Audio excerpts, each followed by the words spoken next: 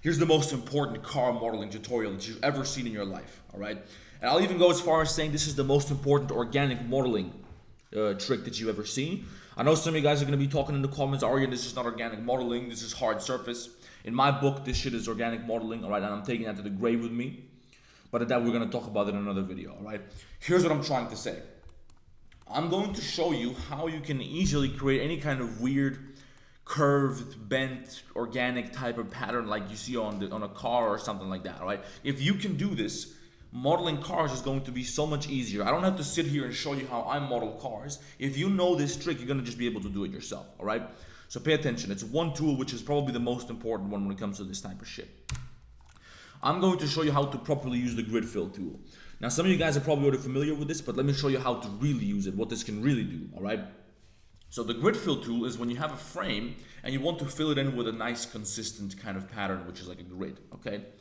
So this is an example right here. We have a frame which has three edges over here and it's by four edges over here. So three by four kind of frame. And notice how it's a little bit curved, all right?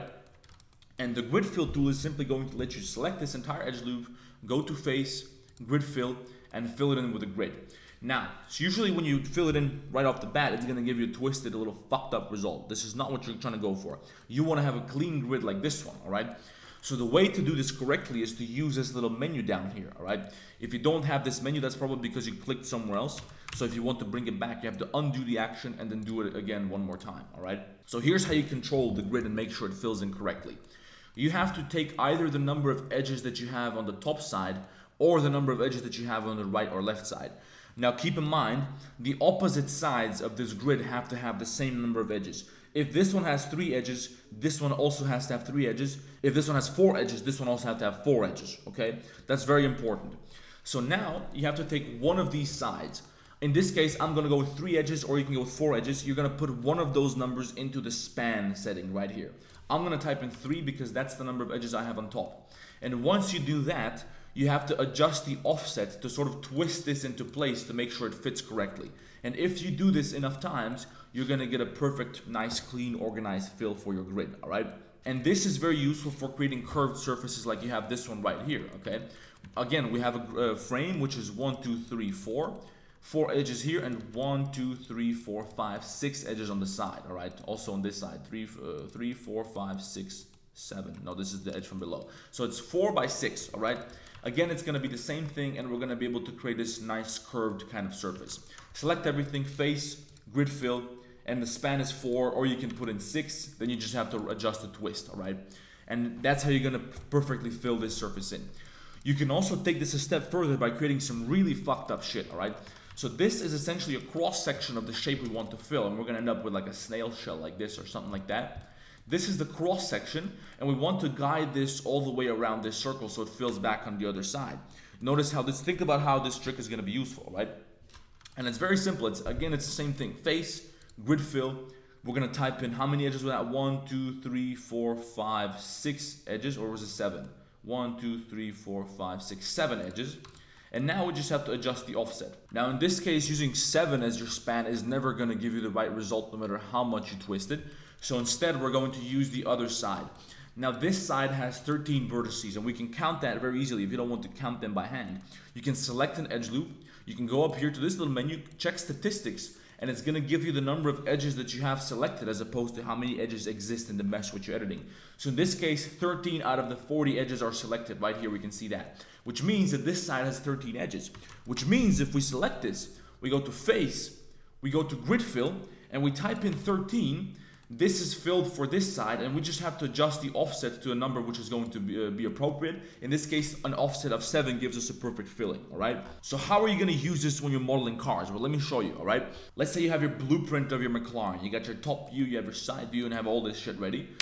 And you're going to first create a cross section of one of the sides. So the easiest way to do it is like this. You add in any mesh, you go to edit mode, you press X, collapse edges and vertices, and now you're just left with one vertex, which you can extrude into anything you want. We're gonna model out a little cross section of this car.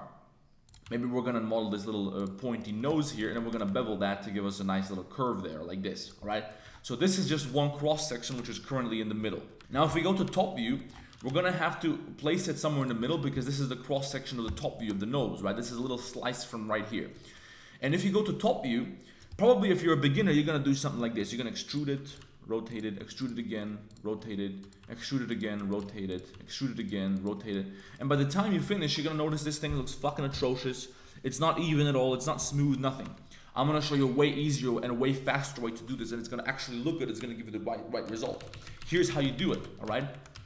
Since this is just one cross section, we're gonna take it all the way to the side where this cross section begins, all right, like this. This is where the cross section begins. This is one side. Then we're gonna duplicate this little cross section. We're gonna take it to the other side, and this is the other side of this little curve. Now we have to join the corners of this face, and now you can see this starts to look a lot more like the grid that we just filled a second ago, but we still need to make a curve like this. So add some loop cuts this way, take these two vertices and push them forward, and we're gonna bring those into place. We're gonna bevel them. So you're gonna bevel them with Control B, and then you're gonna press V so you can bevel just a single vertex, right? Like this. And now you get a nice little curve for the front of the car. And now we just have to fill this in the same way we just filled the grid a second ago.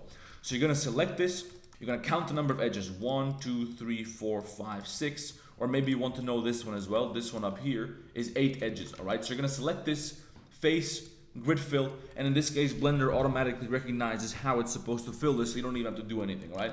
And now you have an easy, nice, beautiful little organic filling for your car, all right?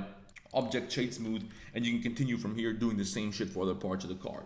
Tell me this wasn't the coolest Blender modeling trick you've seen all day. I know you spent all day watching YouTube videos, so tell me when was the last time you saw a better trick than this, all right? Let me know in the comments what you want to see next. I'm going to see you guys in the next one.